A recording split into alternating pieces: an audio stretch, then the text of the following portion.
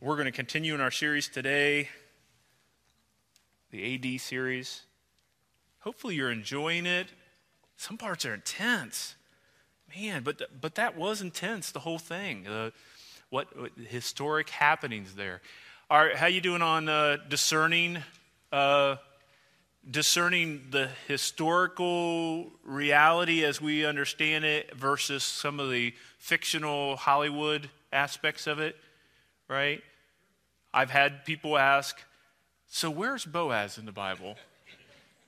Boaz was not in the Bible, but Pilate was, and uh, Caiaphas, and so these are characters. But so there's some some of this um, unpacking of how it could how it could have been, how it could have been. So we're going to continue. Uh, tonight's uh, episode should be an exciting one because it continues with uh, with more. It enters into the persecution. As we saw at the end last week, did everyone catch that was Paul, Saul, collecting the coats at the stoning of Stephen? Did everyone catch that? No. Only one person's watching it. So did you catch that? That it was that, that, yeah. And so, and not everyone would catch that, but it's okay. We're all kind of this, this. And I hope, this is my hope, this is my prayer, is that you are reading Acts 1 through 10 and becoming familiar with it more again maybe maybe you've read it a million times but read it again and discover and kind of see what what god has to tell you uh, this time around so today we're going to talk about just i want to start with talking about last words last things that we say before we pass away so what are some I, it's not funny, Chuck. It's this is death we're talking. No, it is. Kind of, I know you're getting ready for the punchline.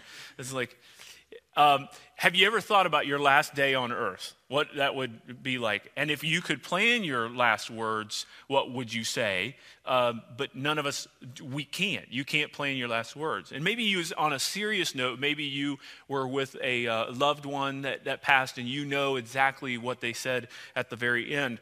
And so Ecclesiastes 7 2 says this better to spend time, uh, spend your time at funerals than at parties.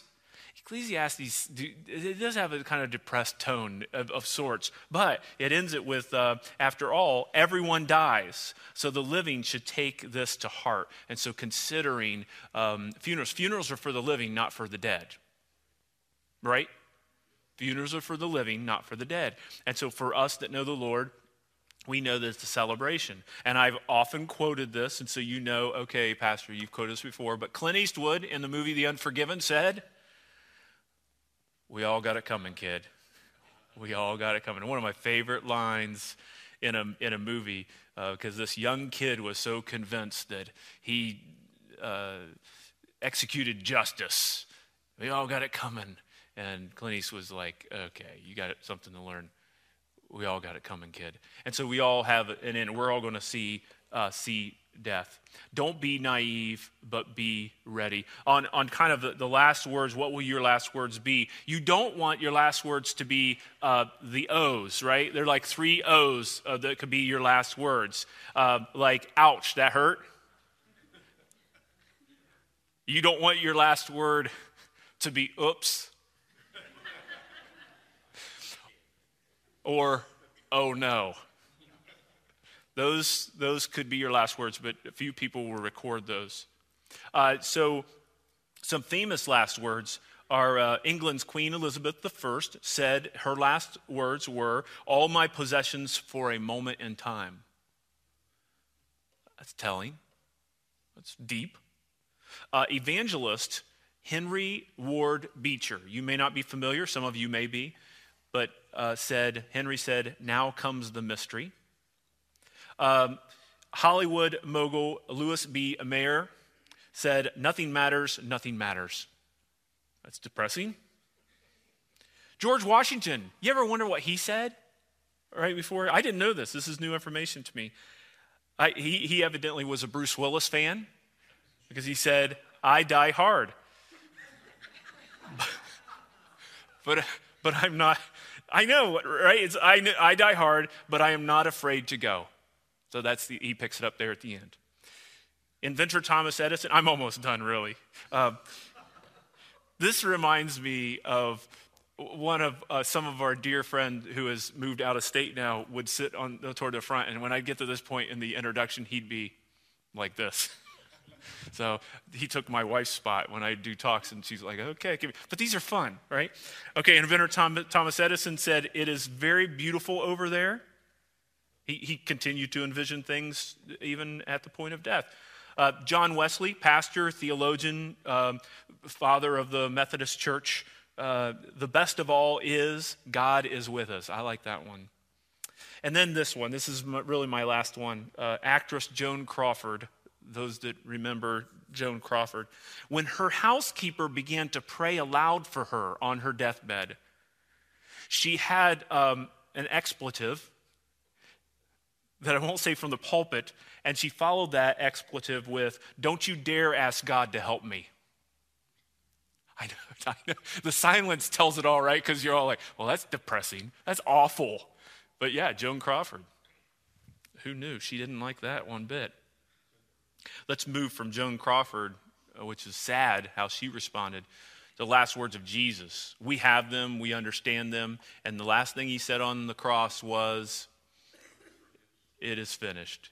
It is finished. That term actually means that it is, it is complete, paid in full. The Greek term goes back to like a real estate transaction or transaction like um, the stamp of it's done, it's a done deal, paid in full, complete. It's done. That's how we can see that and read that. He has a second last word moment after his resurrection. So you remember Matthew 28 18 through 20, he appears uh, back before the disciples and he gives the Great Commission. And so let me read his famous last words there. And that is Then the 11 disciples went to Galilee, to the mountain where Jesus had told them to go. When they saw him, they worshiped him, but some doubted. Then Jesus came to them and said, All authority in heaven and on earth has been given to me. Therefore, go and make disciples of all nations, baptizing them in the name of the Father and of the Son and of the Holy Spirit, and teaching them to obey everything I have commanded you. And surely I am with you always to the very end of the age. Today, we want to talk about the pebble plan the pebble plan, which uh, includes with Jesus' terms, uh, Jesus' last words that he gave. The pebble plan is this derive off of two verses, uh, both chapter 1, verse 8. Chapter 1, verse 8. We just have to find the book. Chapter 1, verse 8. The first one is chapter, as an illustration for the pebble plan, is going to be chapter 1, verse 8 of First Thessalonians. First Thessalonians, chapter 1, verse 8 says this The Lord's, Paul is writing here, and he said, The Lord's message rang out from you, not only in Macedonia and Achaia, your faith in God has become known everywhere. Therefore, we need not say anything about it. So, the phrase there that we want to grab a hold of for this 1 8 in regards to what's called the pebble plan, which connects to Jesus' last words, is the idea of rang out. The words rang out is um, originally in the Greek, uh, our understanding is more of a ripple or like if a pebble was thrown into a pond, right? You have this calm pond, this lake or this body of water, and you throw a pebble in, and you can see the ripples go all the way to the edge of the shore. That's that idea that it, the, the message went out in this area, and he's saying the message rang out. It, it ripples went out and not only hit in Macedonia, but it went beyond and then it went everywhere. That is the pebble plan. It's similar to, I envision um, like in my neighborhood, you look down the street, and I remember one day on a, on a summer day, it was clear, uh, someone was in their front yard and they were doing work and they started pounding on something, right? And I would look and I would see this guy just, just pounding, doing some sort of work. I don't know what he was banging on, but it made a loud noise. But I would see the bang, but then I wouldn't, you don't see a bang, but you see him striking. But I heard the noise delayed. It rang out, but it took a second to get to me, or millisecond, or whatever that was to, to get to. So the effect, so the idea of the pebble plan is very similar, where a message is spoken here, a something happens here, and then it ripples out. I heard one time, and I don't know if this is true, and you may ask your device or whatever, however you find out the answers in life. Uh, but I heard this about how sound travels, and people said one time that Abraham Lincoln's Gettysburg Address is still floating in the air out there that everything said is still out there. I don't know if that's true or not, but it seemed interesting. And it seemed connected to the fact that once a message is given, there is a, there is a delay, but it does ripple out. And sound does that. Sound travels and it goes. This message is the same way. Uh, the other 1 8 that we want to look at, obviously, maybe not so obviously, but uh, uh, obvious to me, we're going to Acts because that's where we're at, AD series. And so, Acts chapter 1, verse 8. We've read this verse before, but we were going to go back and you say, oh, hold on, Stephen just got stoned, right? So, not stoned, they stoned him. Sometimes it's just good to pause in a sermon to see what kind of response, unplanned uh, comments that are made. Uh, so, so you say, well, this just happened, so we shouldn't we be like chapter 7 or whatever? And yes, hold on chill. We're going to get there, but let's go to 1 8 because 1 8 dictates where we, where we go in chapter 7, 8, 9, 10, and so forth and so on. So, Acts 1 8 says this.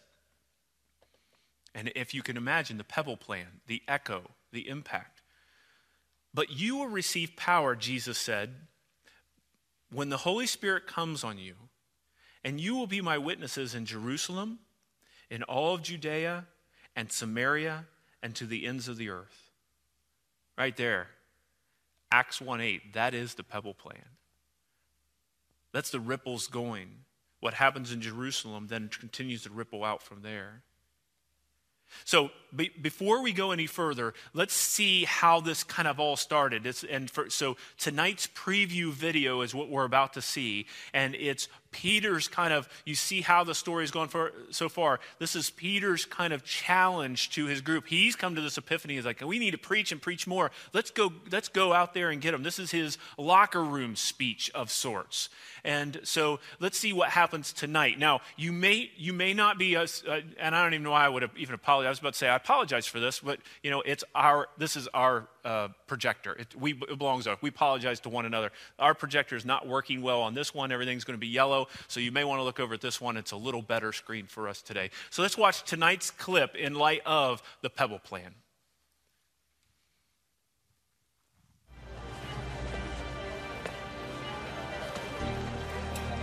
You have questions. You say, Why did he call me his rock? You ask, Am I the foundation? Is this where his church will be built? There is only one foundation stone, and his name is Jesus Christ. And his church is not here, it's not in those tents or these walls. It's you, all of you. You are his church.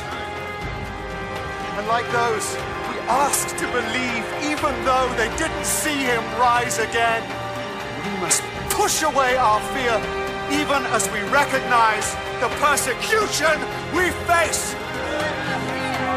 We have to go to Jerusalem and preach the word to build his church. Don't you want to just go now? I get excited. Now we don't have that. That that's just in case you haven't read Acts one through ten. We don't have that specific speech sermon recorded, but we have the essence. I would not be surprised. That feels like that sounds like something that Peter would have. He's kind of the character development in AD, the movie. You see character development in the in Acts as well because you see a guy going from so uh, Luke wrote the Gospel of Luke, and Luke wrote the, the book of Acts, right? And so those two, it's like a part one, part two uh, series. And so you look at how character development of Peter through all of Luke's writings, um, and how you, this is the same guy that denied Jesus three times. This is the same guy that put his foot in his mouth time and time and time again, right? And so, talk about character development. This, this guy now is like moved, filled by the Holy Spirit, and encouraging the church and saying, It's not about me, but you are the church. And so I can see this. I could, I could, I, although not in Scripture, I can see that happening. Can you? Can you see that? That same thing? I hope so. So there's what I want to. We want to do something a little academic here, slightly. Maybe for you it won't be, but it's just to explain how. Um, so we see the ripple effect, the uh, the pebble plan, that how how um, the message is here and then it goes out from there. Let's see how Acts chapter 1, verse 8 then looks like in the whole book of Acts. And so there are three phases, and you have this in your notes. And if you could just look with me in your notes, uh, the, the going from from one phase to the other, so you can understand. This helps may help with reading it as well. And so phase one so look, Acts 1 8, you have that right in your notes up at the top so you can see the Jerusalem, Judea, Samaria, and all the ends of the earth. So let's look at phase one Jerusalem. Acts 1 through 7 was the focus there. Disciples reached out with the gospel in their city, Jerusalem, the holy city. They, would, uh, they invested time uh, uh, in the metropolitan area, that the, the social area. And Jerusalem, by the way, at that time was very, was very diverse in background of people. Now, this is critical for, for later on, but meaning there were Jewish people coming to Jerusalem from all around the known world. And so they represented different ethnic groups, uh, tr- tribes, languages, but they had this either God-fearers or Jews. Those are kind of two different groups. So if you weren't born Jewish, you were, and but you followed the God of the Jews, you were a God-fearer, is what they would call you. Okay, write that down. That's a freebie. And so they, so you had this whole group, and then that's going to play a critical role later on as we go from here. So Acts one through seven, disciples reached out to their city, and then phase two this next ripple as it goes out, Acts 8 through 12, believers went out from Jerusalem to reach out to the surrounding area, Judea and Samaria, with the good news of Jesus Christ. What's interesting there is those are two different provinces of the nation of Israel, but they're not equal. We've, we've had this talk before, and if this is new to you, just a reminder that Judea was a, a little more holy, a lot more holy than Samaria. Samaria was made up of a, a land of people who were known as half breeds and uh, turned their back on God. They really didn't, they didn't have it all together. You know, this is not, they're second class citizens. And so it's interesting that while this is, we've unpacked it before, but we'll just reiterate right now that this is, um, it's significant that they say the gospel needs to go out to a, a, land beyond Jerusalem that's a little larger geographically, but includes more of the nation of Israel, um, much more of the nation of Israel. But then also, it needs to go to people who are foreign to us, who are different from us, who we see as despised, outcast people, but they are still geographically close by. And we could probably translate the same thing is that and so, and I hope you see where we're going with this. This is, and for many of us, this isn't a new message. You, maybe I could be guilty of what uh, someone accused me of uh, in the past, where it said, "Pastor, just teach us something new. It's, teach me something new. It's the same old thing all the time." Well, you know what? Is that uh, gospel needs repeated over and over and over again because that's the centerpiece. And I'm I'm not very good at teaching pop psych all the time, you know. So I'll just go back to the central message, the foundational message. And that is for here, the gospel going out to not only Jerusalem, but going out to um, Judea and Samaria, to people that are different from us within our, our region and our area. You translate that then into your world, what that looks like. And then phase three from Acts 1 8, then it goes to chapters 13 to 28. Believers went out even farther to the rest of the world, to the uttermost parts of the earth, in Rome and Greece and, and beyond. Rome and Greece and beyond. And so you see these disciples that even Peter, who Peter's talking to in that clip there, you see them that they, um, all of a sudden, we're going to see tonight illustrated, and you read in the book of Acts, persecution breaking out. And so you think about what happened. Let's jump forward then. What happened? And this, by jumping forward historically, it's going to give us an understanding on how this was fulfilled, right? Paul, we as a separate, the one standing there as Saul before he changed his name, standing there holding the coat, coats and approving of the stoning of Stephen. And he, in fact, in that wasn't that powerful when he took that last stone and handed it to that guy, and the guy threw the last one. And and that's that was, I think, symbolized really well of what it actually says in the book of Acts that Paul stood there watching the coats and approved of the killing. That was powerful, powerfully illustrated. So persecution breaks out, but Paul himself became a follower of Christ. We're going to see that uh, happen actually before we finish this series. And he went out and he was eventually, he was imprisoned, we know several times, but he eventually was beheaded in Rome as our understanding. So, our understanding of, of the record, a historic record, Peter was crucified in Rome eventually upside down because he did not want to be, uh, he did not feel like he was worthy of being crucified in the same way that his Lord was. Andrew, uh, the disciple, was crucified in Greece. So pay attention to these locations. So Rome and Greece. Philip was hung upside down with hooks in his ankles in Phrygia. Matthew died in Ethiopia. Jude was clubbed in, in, to death in Iran, modern day Iran. John died in exile on the island of Patmos, which is outside of uh, Turkey, that Mediterranean area. Bartholomew was crucified in our modern day Armenia. Thomas was speared in India. James, or Alphaeus, died in Egypt. Simon was sawed in half in Spain.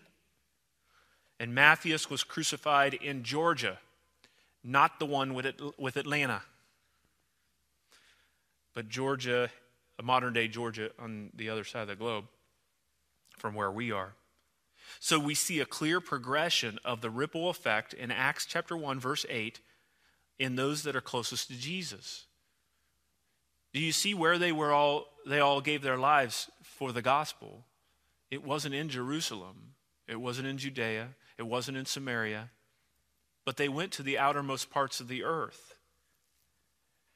So we see a concentration of reaching in the city, Acts 1 through 7, in the country, Acts 8 through 12, and the world, Acts 13 through 28. That's a very simplistic way of looking at it, but that is, um, that's the progression that happened, and that's the primary message for today.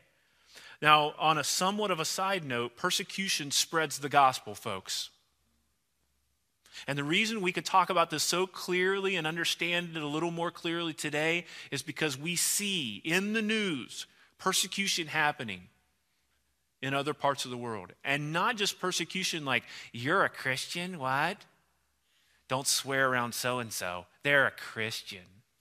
Don't you people, don't you hate other people? There's a, eh, like what we get in America here, like, right? Like, don't swear around them. They're a Christian. That's not persecution, my friends. Persecution is when they march you and another uh, uh among a group of men to a beach and they, they behead you. This just happens now. Persecution is when, as a little girl Christian walking to a Bible study, is shot and killed. It's happening today. That's persecution. And persecution spreads the gospel. Prosperity historically has stunted the gospel. The ripple effect, isn't that interesting? historically, the ripple effect of Christianity, going from Jerusalem, Judea, Samaria, and to the other parts of the world, the ripples seem stronger and go further and make a greater impact when the church is being persecuted, when Christians are being killed for their faith. But when times of prosperity, the ripples kind of, the water gets a little flat again. Not always, but many times. Now, historically, we see that there was this. Um, uh, what happens when persecution happens is they're scattered and they're emboldened. And as we said before, the disciples were preaching in Jerusalem, the start of the gospel. God knew what he was doing. He knows what he's doing beyond of what we can even figure out because there's so much more to it that we can even put our uh, puny minds around. But we've been revealed enough that we can understand that this, this, uh, this metropolitan area, this area of Jerusalem, has all this ethnic background, people coming in from other countries and, and being around. All of a sudden, the gospel's preached, and all of a sudden, they're leaving and going back to their homelands, and the gospel is being uh, spread because persecution breaks out, and people are running from persecution, and they are uh, they're, they're going throughout the known world, and they take the message of Christ with them. It's not much different without the persecution of a dear friend of mine who's up at Kent State University area, and he uh, is running, he's run for the last several years a, uh, a, a church. It's actually become one of our friends' churches up in Kent, and he he um, he's from China, and he actually runs. It's a Chinese church. It's uh, but it's uh, but he runs this for students who have come over from China and they're going to Kent State and he runs this fellowship and he shares the gospel. They come into Jesus and then they, their plans are going back to China anyhow. So they go back to China and they take the gospel back to China.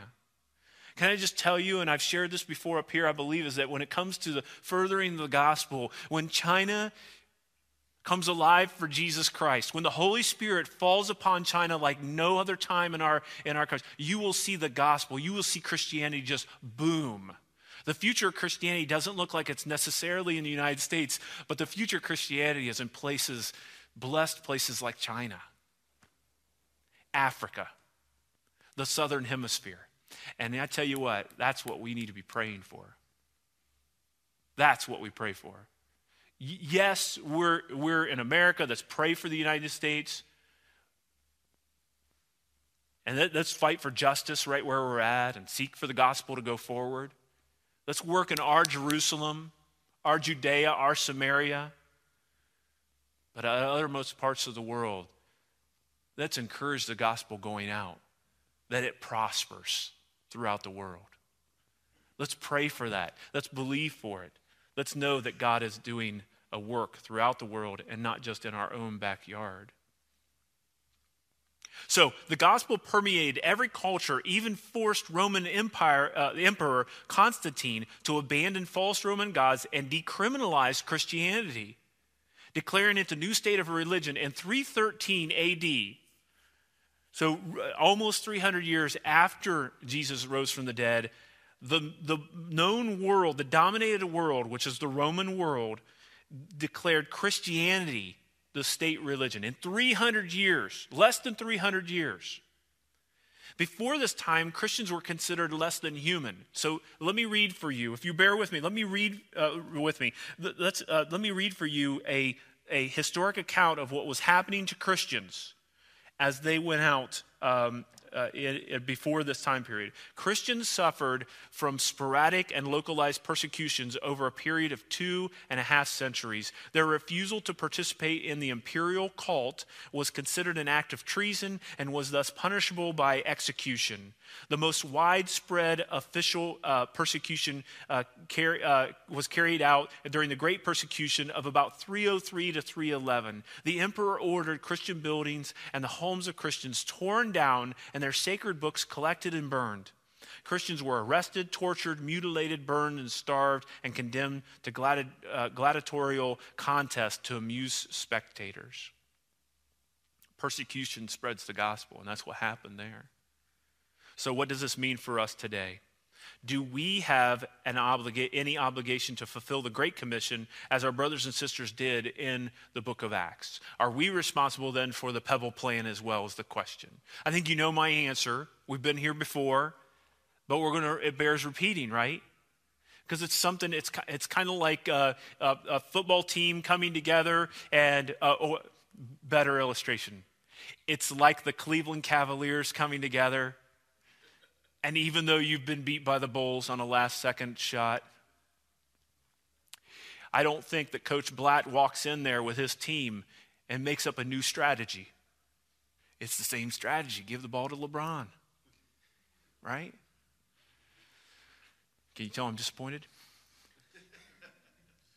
The, the game plan is the same shoot the ball into the basket, score more points than the other team, keep them from scoring points.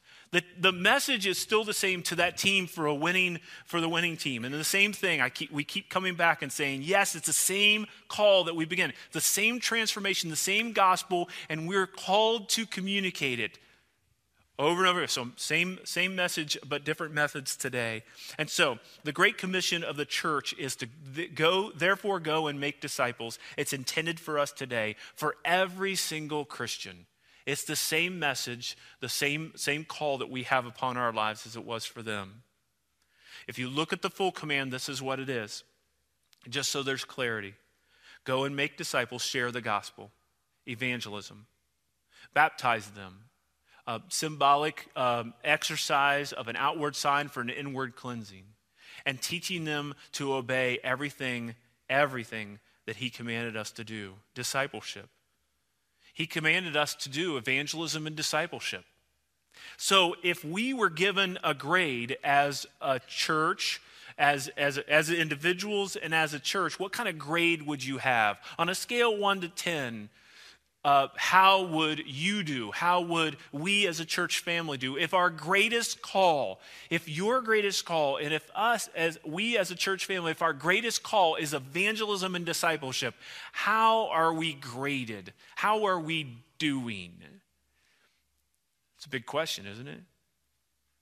It kind of, for me, as as um, as an individual believer, it sure does cut to the chase when it comes to passion for people who are not yet following Christ, those without transformation in Christ. And as a church, it really helps you evaluate everything you do. And it makes you reconsider how much is just done for us to make us comfortable and how much we do that makes us super uncomfortable, but it sure is reaching new people for Jesus and helping them grow in that faith.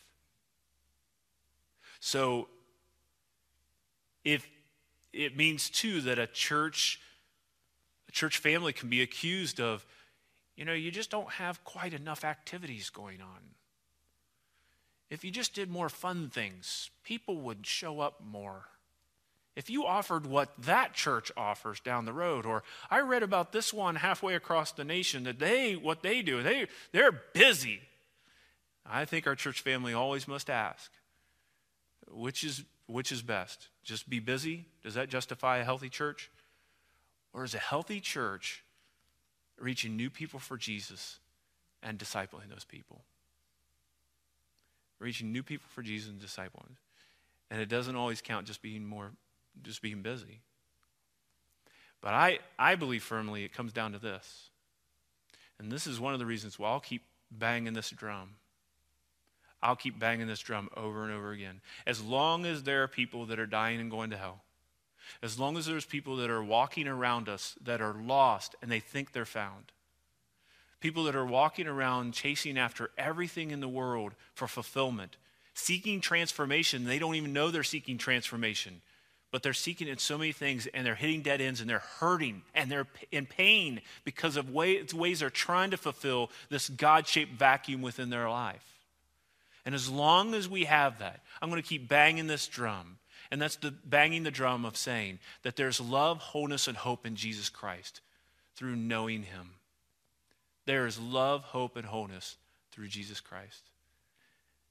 And we have the privilege, the opportunity, and the obligation to share that message with everybody until our last dying breath in this life we have that opportunity and obligation to do so. Can I keep banging that drum? Can I keep banging that drum? You know, because the moment, I'm telling you, the moment that this church family looks at their pastor and said, you know what? You can stop preaching that message. You need to find another pastor because I can't pastor a church that doesn't believe this is our highest call right here. Reaching new people, discipling people.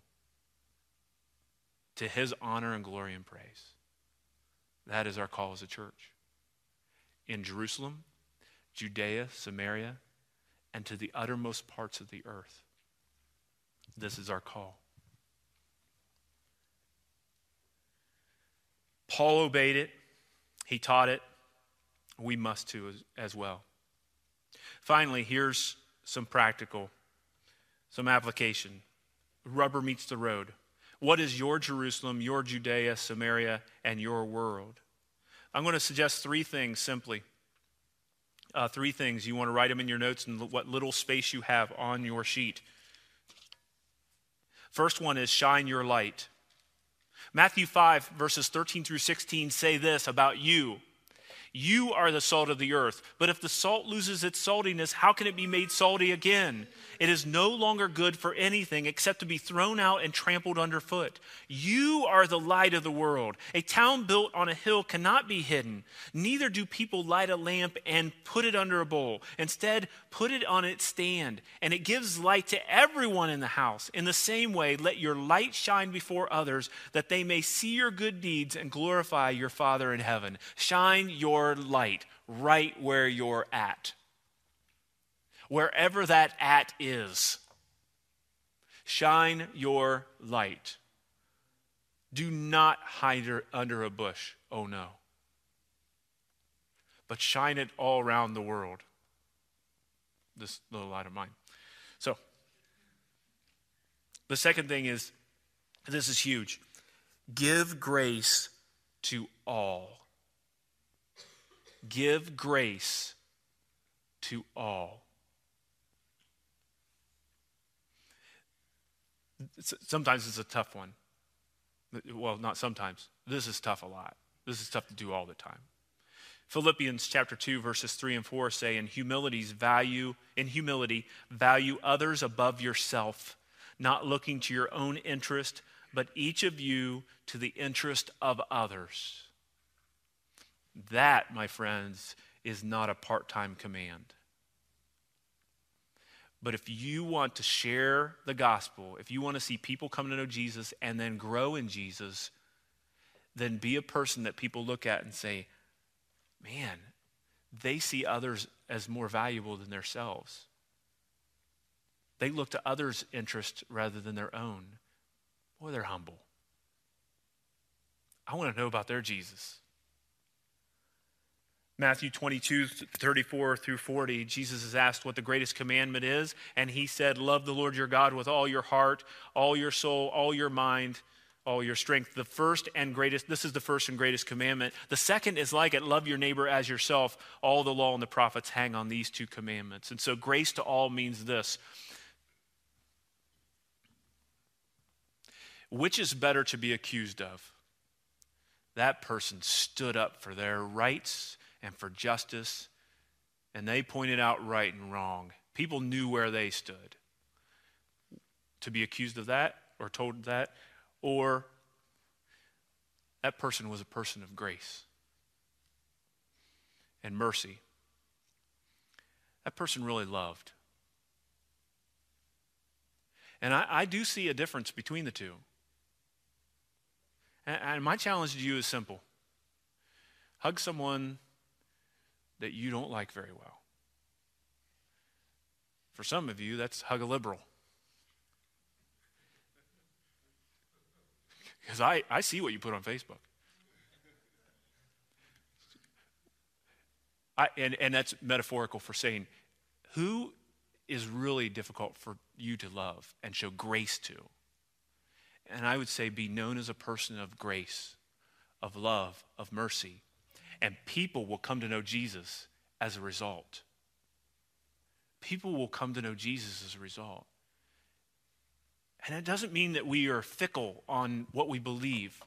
The Bible's the Bible, you know, the firm, it's firm foundation for us, yes. But the foundation is first and foremost love the Lord your God with all your, all your heart and soul and mind and strength. And then the second is like it love your neighbor as yourself. So I see love as the foundation, not being right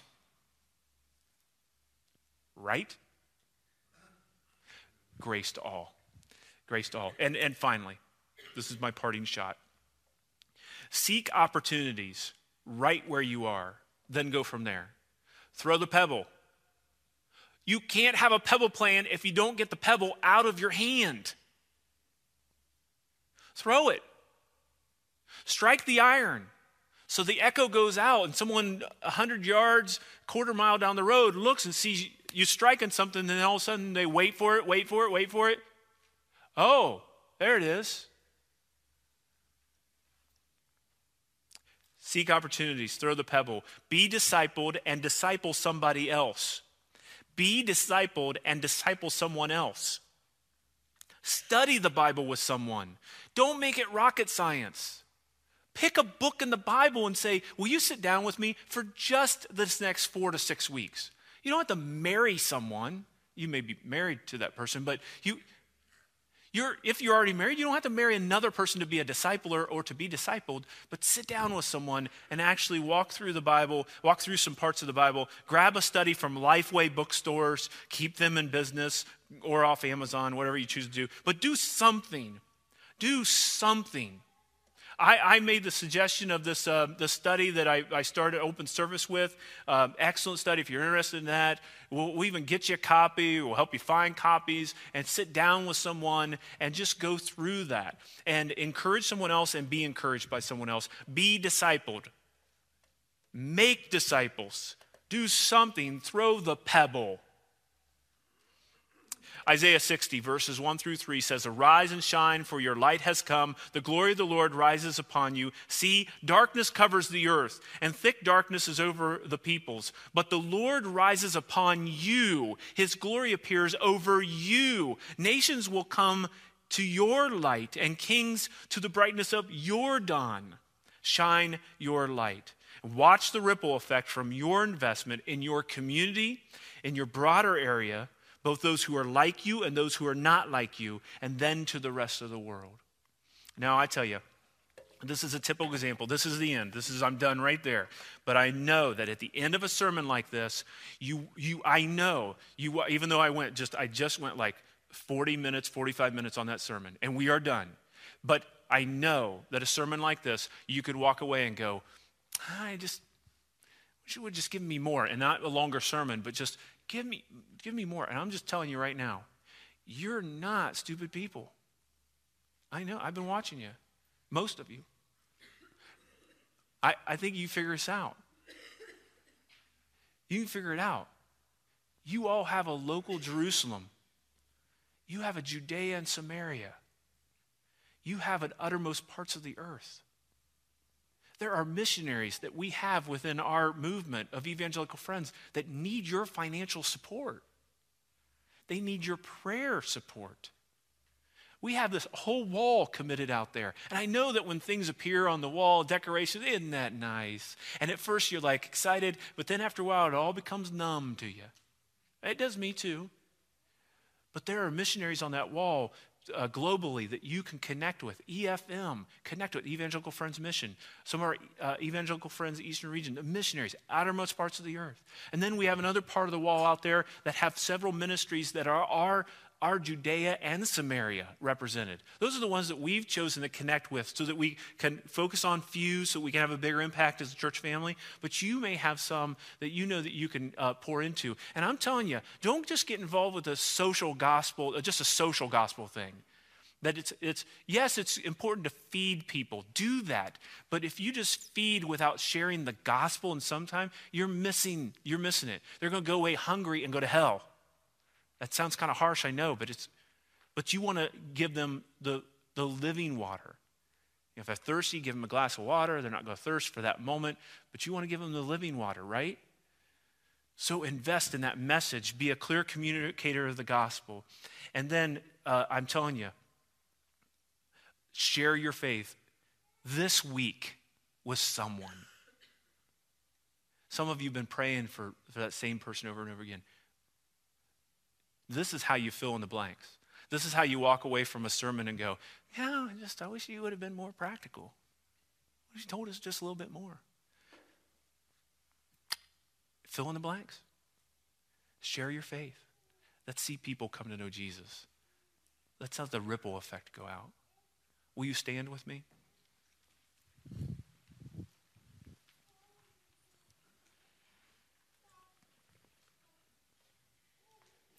God, we pray right now for those folks within our lives that are um, without you. That um, they've been ignoring you. They, they may not even have a clarity on exactly what the gospel message is. And we pray right now, Holy Spirit, that you will come and that you will set upon them right where they're at. I know, I know from conversations, I know that there are folks within uh, this church family here that are saying, that, that have people that they're burdened for. And they've actually been sharing the gospel. In more than one way, there's folks, I know folks here, God, that are verbally share and through their actions just love people and are people of grace.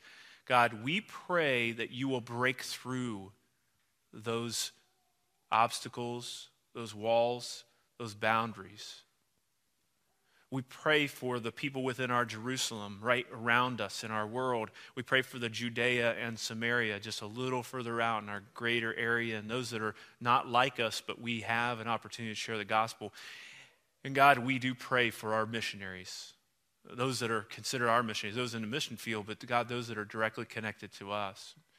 We pray that your gospel will go forward, that many people will come to know you as a result. May we be encouragers of one another in this, um, this call to put the, put the ball in the hoop, to score more points than the other team.